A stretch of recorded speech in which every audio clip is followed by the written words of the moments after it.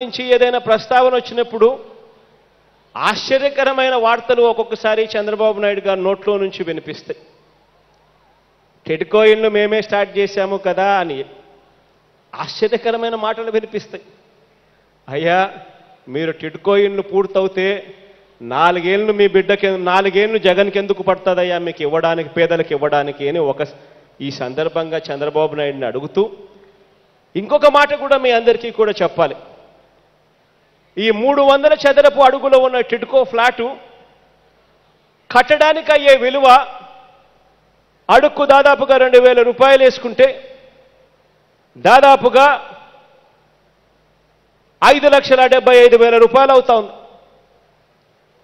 ఈ infrastructure TIDCO infra TIDCO ఫ్లాట్స్లో infrastructure అంటే ఈ డ్రైనేజీలు ఈ ఎలక్ట్రిసిటీ ఈ రోడ్లు ఇటువంటివన్నీ ఇన్ఫ్రాస్ట్రక్చర్కు దాదాపుగా మరో లక్ష రూపాయల దాకా దగ్గర దగ్గర అవుతా ఉంది.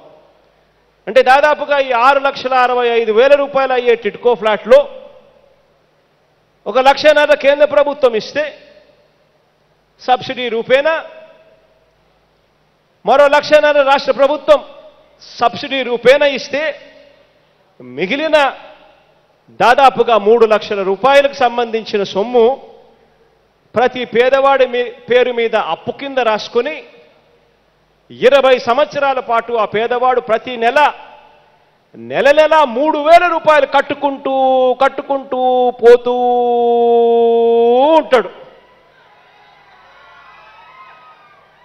అంటే ఆ ఇరవై ఏళ్ళలో ఆ పేదవాడి మీద పడే ఆ మూడు లక్షల రూపాయల అప్పు తడిసి వడ్డీతో సహా మోపుడై ఆ ఇరవై సంవత్సరాలలో ఏడు లక్షల ఇరవై వేల రూపాయలు ఆ పేదవాడు ఆ టిట్కో ఫ్లాట్ కోసం ఆ మూడు వందల అడుగుల ఫ్లాట్ కోసం ఆ పేదవాడు కడుతూ పోతా ఉంటాడు. మరి ఆలోచన చేయండి. ఇది పేదవాడికి ఇచ్చినట్టేనా? చంద్రబాబు నాయుడు గారు అనుకుంటా ఉన్నట్టు చంద్రబాబు నాయుడు గారు అబద్ధాలు చెప్తా ఉన్నట్టు ఇది పేదవాడికి నిజంగా ఇచ్చినట్టేనా?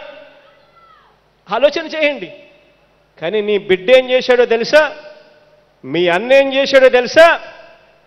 ప్రతి అక్క చెల్లెమ్మకు కూడా వాళ్ళ పేరుతో ఈ ఫ్లాటు వాళ్ళకు రాసిచ్చి అక్క చెల్లెమ్మ ఈ ఫ్లాట్ నీకు మీ అన్న రూపాయికే మీకు ఇస్తా ఉన్నాడు అని చెప్పి రిజిస్ట్రేషన్ చేసి ఇస్తా ఉన్నాడు.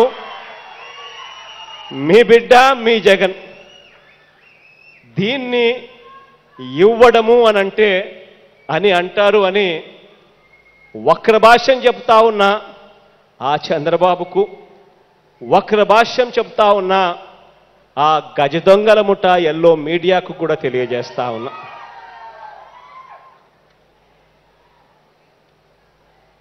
ఈ సందర్భంగా ఈ రాష్ట్రంలోని ప్రతి ఒక్కరికి కూడా కొన్ని విషయాలు మీ అందరికీ కూడా మనవి చేయాల్సిన అవసరం ఉంది కాబట్టి తెలియజేస్తా ఉన్నా. మీ అందరికీ కూడా ఈ విషయాలు తెలిసి ఉండాలి. చంద్రబాబు గారి ప్రభుత్వంలో గత ప్రభుత్వంలో ఏ ఒక్క పేదవాడికి కూడా కనీసం ఒక్క సెంటు కూడా భూమి ఇచ్చిన పాపాన పోలేదు గత ప్రభుత్వంలో చంద్రబాబు. కనీసం ఒక్క సెంటు. కనీసం ఒక్క పేదవాడికి ఒక్క ఇళ్ళ పట్ట అయినా కూడా ఇచ్చిన పాపాన పోలేదు గత ప్రభుత్వంలో చంద్రబాబు నాయుడు గారు. ఇది మీ అందరికీ కూడా తెలిసి ఉండాలి. ఇదే పెద్ద మనిషి